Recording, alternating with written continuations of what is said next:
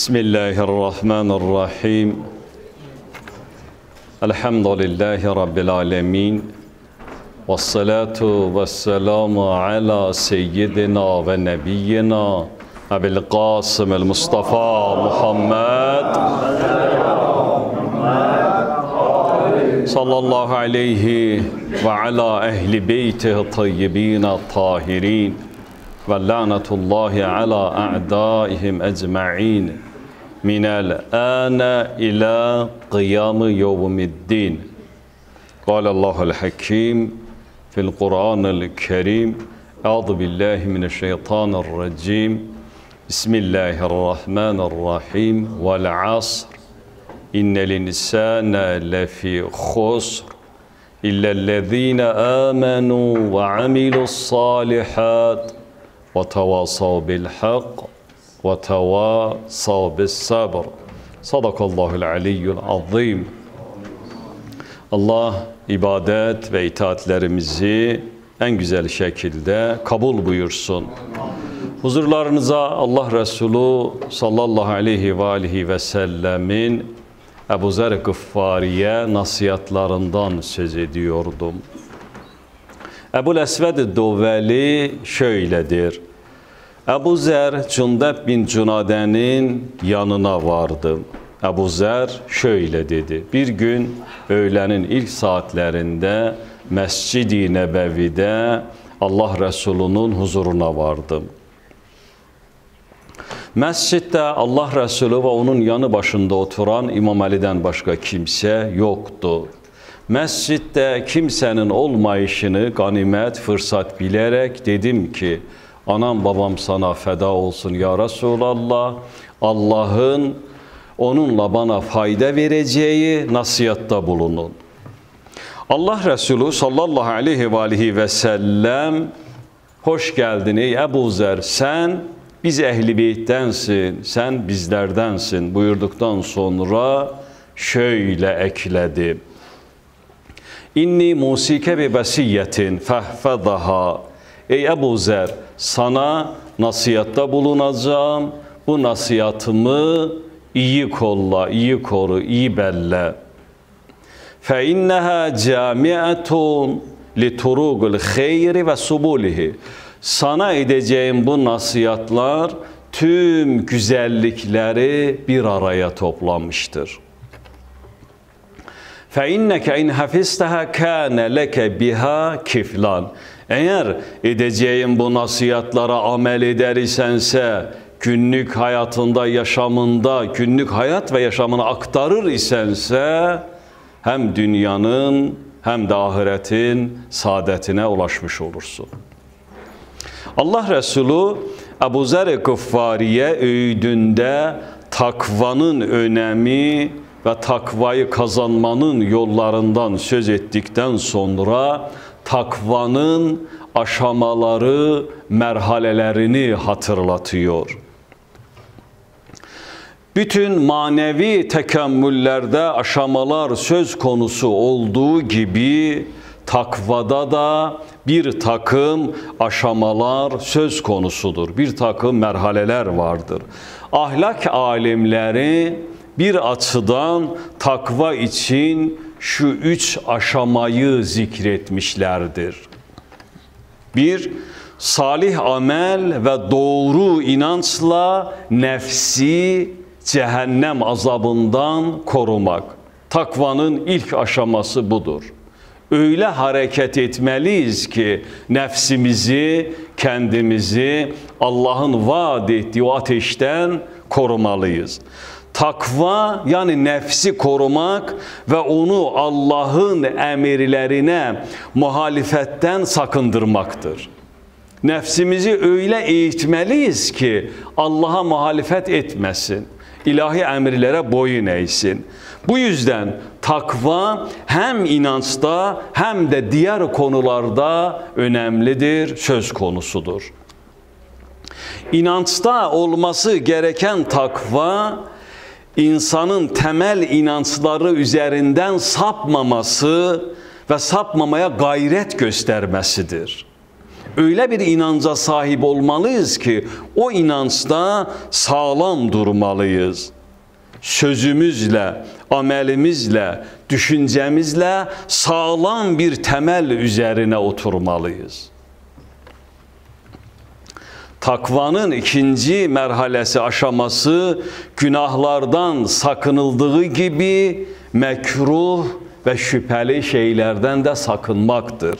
Takvanın bu merhalesinde mekruh ve şüpheli olan şeyler günah olarak gözükür.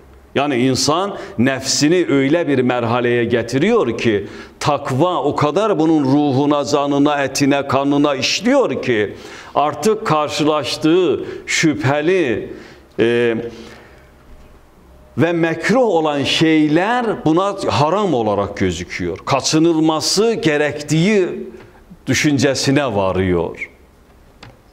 Tabii ki bu önemli bir merhaledir, önemli bir aşamadır ki insan şüpheli şeylerden, mekruh olan şeylerden kaçınabilmesi, bunu haram gözünde görmesi takvanın önemli merhalelerindendir. Takvanın üçüncü aşaması merhalesi uzuvları ve organları haramlardan, şüpheli şeylerden, mekruhlardan korumaktır. Öyle bir hadde geliyor ki artık insan düşüncesinde dahi haramlara murtekip olmuyor. Hayalinde, fikrinde dahi çirkinliklerden, kötülüklerden kendisini alıkoymaya başlıyor. Takvanın bu merhalesinde Allah'ın rızayeti ön plana taşıyor. Allah'ın razı olmadığı tüm şeylerden yüz çevriliyor. Allah'ın razı olduğu tüm şeylere yöneliliyor. Rivayetlerimizde şöyle geçer. Men vari'a an meharimallah fehuve min avra'in nas haramlardan çekinip sakınan insanların en takvalısıdır. Her bir salih amelde olduğu gibi takvanın da bir takım dünyevi ve uhrevi faydaları vardır. Yani beşer takvalı olduğunda sadece dünyavi faydalara ulaşmıyor. Belki uhrevi faydalarına da ulaşmaktadır. Hem dünyasını hem ahiretini abat etmektedir. Hem dünyanın güzelliklerine ulaşmaktadır hem kıyametin güzelliklerine ulaşmaktadır. Bazen takva deniliğinde sanki sadece kıyamet yatırımıdır. Dünyada hiçbir faydası yoktur. Dünyada insana bedbahlık getiriyor, kıyametini ise abat ediyor. Hayır, bu doğru bir düşünce değil. Takvanın uhrevi faydası olduğu gibi dünyevi faydaları da vardır. Takvanın faydalarından ilki hakikatları idrak etme anlayışı insana vermesidir. Yani takva insana bir furkan vermektedir. Hakla batılı ayırt eden bir furkan nasip etmektedir. Ayet-i kerimede yüce yaratan şöyle buyuruyor. Ya eyyühellezine amenu ittagullah yec'al lekum furqanen. Ey iman edenler Allah'tan sakının. Allah'a karşı gelmekten sakınır iseniz Allah size iyi ile kötüyü ayırt edecek bir furkan verer. Bir anlayış verer. Bir kavrayış verir. Hakikatlar akıl gücüyle derk edilmektedir. Furkan akıl ödesi, ötesi bir şeydir. Ayrı bir nurdur Furkan. Çünkü akıl az çok herkeste var, mevcuttur. O halde insan Allah'ı tanıyarak, makamından ve yüceliğinden korunup sakınarak, yaşantısında sınırları ve kısıtlamaları gözetirse yüce yaratan o kula Furkan nurunu inayet eder. O Furkan nuruyla bu kul hakla batılı rahat bir şekilde ayırt edebilir. İnsanların bocaladığı o hak batıl arasındaki savaşta bu sahip olduğu Furkan nuruyla rahat bir şekilde görevini, vazifesinin ne olduğunu kavrayabilir. Takvanın faydalarından ikincisi açık ve net bir şekilde görme, kavrayış ve marifetine ulaşmaktır. Kur'an ayetleri ve rivayetlerimizde bu noktaya çok fazla işaret edilmiştir. Marifete, açık ve net bir şekilde görmeye, ilahi takvanın tefsirlerinden birisi de insanın yüzüne marifet kapılarının açılmasıdır. Nitekim yüce yaratan Kur'an-ı Kerim'de şöyle buyuruyor: "Vettagullah ve yuallimukumullah." Takvalı olun, Allah size bilmediklerinizi öğretecektir. Bildiklerinize amel edin, Allah bilmediklerinizi size öğretecektir.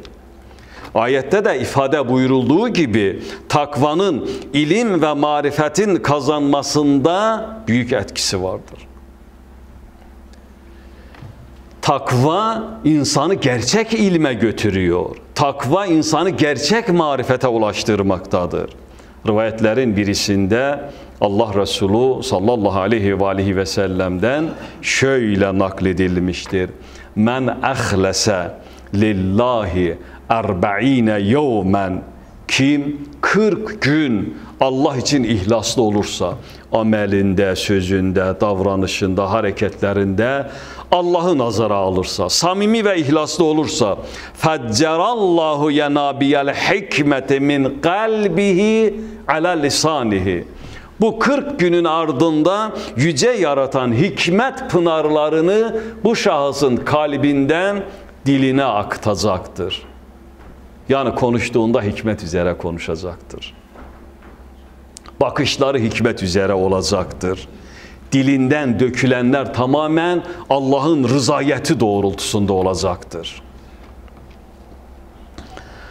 Hakikatta takva hakkı tanımaya engel olan pası insanın kalbinden, gönlünden, vicdanından temizleyen ilahi bir lütuftur. İnsan takva vasıtasıyla kalbindeki kini, nefreti söküp atabilmektedir.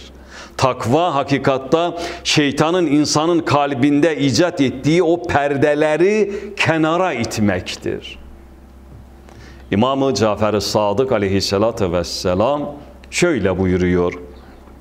لولا أن الشياطين يحومون حول قلوب بني آدم la nazaru ila melakutus semavat. Eğer şeytanlar Adem evlatlarının kalplerinin etrafında dolaşıp durmasaydılar, Adem oğulları göklerin melekutüne müşahede ederdi. Adem evlatları kalbinin etrafındaki şeytanları kendisinden uzaklaştırabildiğinde hakikatları görmeye başlıyor. Diğerlerinin göremediğini görmeye başlıyor. Hakikatta takva ve günahlardan arınmak insana basiret vermektedir. İnsana hakikatları açık ve net bir şekilde göstermektedir. Takvanın faydalarından üçüncüsü korku ve hüznün son bulmasıdır. Takvalılar korku ve hüzne kapılmazlar. İnsan dünyanın hüzün ve kederiyle iç içedir. Bu hüzün ve gamdan kurtulmanın tek yolu da takvadır. Allah'a sığınmaktır. Nitekim Allah Azze ve Celle Kur'an-ı Kerim'inde şöyle buyurmuştur. فَمَنِ اتَّقَى وَأَصْلَهَا فَلَا خَوْفٌ عَلَيْهِمْ وَلَا هُمْ يَحْزَنُونَ Her kim Allah'a karşı gelmekten sakınırsa, halini düzeltirse, kendisine çeki düzen verirse artık onlara ne bir korku ne de bir hüzün olur. Bunlar sahip oldukları o ilahi güçle dünyanın meşakkat ve sıkıntılarından ne hüzne kapılırlar ne de korkuya kapılırlar. Takvanın faydalarından dördüncüsü zorluk ve sıkıntılardan kurtulmaktır. İnsan hayat ve yaşamının zorluk ve sıkıntılarının uhdesinden gelebilmesi için takvalı olmalıdır. Bu sıkıntılarla mücadelenin, bu savaşla mücadelenin en etkili silahı takvadır. Allah Teala Araf suresinin 96. ayet-i kerimesinde şöyle buyuruyor. Ennel ehlel qur'a amenu vettegu lefetahna aleyhim berekatin mines semai vel ard.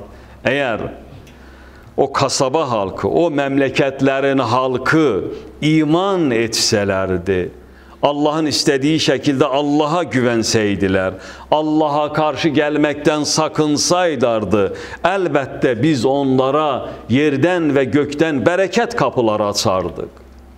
Dikkat edin takva bereket kaynağıdır. Takva yeryüzünün, gökyüzünün bereket kapılarını insanın yüzüne açmaktadır.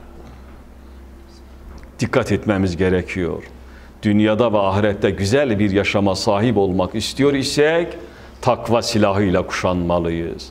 Takva elbisesini giymeliyiz. Takvanın faydalarından beşincisi amellerinin kabul oluşudur. Değerli müminler, değerli kardeşlerim, amellerin ana kabul şartı takvadır. Yüce yaratan ancak ve ancak takvalılardan amelleri kabul görmektedir. Amellerin kabulü sorumluluk ve vazifenin insanın üzerinden kaldırılmasıyla farklı şeydir. Biz bir takım amellerimizde o amelleri yerine getirdiğimizde sorumluluğumuzu yerine getirmiş oluruz. Ramazan ayıdır. Oruç tutmaya başladığımızda fecirden akşam ezanına kadar orucu bozan o zikredilen maddelerden kaçındığımızda vazifemizi yerine getirmiş oluruz. Ama bunu yaptığımızda da amelimizin kabul olup olmadığını bilmiyoruz. Bunları yerine getirdik, kesin amelimiz kabul olacak diye de böyle bir anlayış yoktur. Yüce yaratan amellerin kabul şartını takva olarak zikretmiştir. Amellerin Allah'a yücelme vesilesi takva ile olmaktadır. Yani takvasız birisi, takva takvaya sahip olmayan birisi sabah ezandan akşam ezanına kadar hiçbir yiyip içmese de oruçlu olsa da o orucu Allah'a yükselmiyor. Doğrudur vazifesini yapmış. Ama istenilen o merhaleye ulaşmamıştır. Peygamberimiz Ebu Zer Gaffari'ye şöyle buyuruyor. Ey Ebu Zer, amelden daha çok takvaya önem ver. Kıldığın namazdan, tuttuğun oruçtan, verdiğin sadakadan, humusundan, zekatından daha fazla takvalı olmaya önem ver. Çünkü takva ile yapılan amel az değildir küçük görülmez, görülmez. Allah'ın kabul ettiği bir amel nasıl da az görülür? Yüce Allah şöyle buyurmuştur. Allah amelleri ancak takvalılardan kabul eder. Değerli müminler, değerli kardeşlerim. Ömrümüzün bu kısıtlı ömrümüzde, sayılı günlerimizde takvayı şiar edinmeliyiz dünyada izzetli bir yaşama sahip olmak istiyor isek takvalı olmalıyız. Ahirette saadete ermiş, kurtuluşa ermiş birisi olmak istiyor isek yine takvalı olmalıyız. Takvalı olmalıyız ki hayat ve yaşamdan lezzet alabilelim. Allah bizleri takvalı salih kullarından karar kılsın.